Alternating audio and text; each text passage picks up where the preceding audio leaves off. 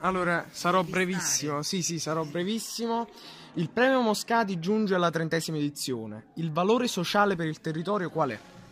È il valore sociale altissimo, è il valore di una terra che ha tante difficoltà e che grazie al volontariato, grazie a premi come questi, grazie alla dottoressa Lucci, eh, crea anche un momento di, ehm, di, diciamo, eh, di chi colma le lacune lì dove non sempre è facile avere risposte dal, dallo Stato.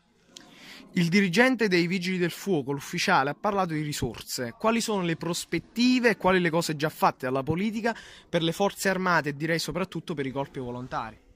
Abbiamo fatto la riforma del terzo settore, ma soprattutto eh, le risorse che sono state investite dal governo Minniti e dal ministro Minniti, scusate, non il governo, il governo Gentiloni, sono comunque delle risorse importanti. È un lapsus voluto?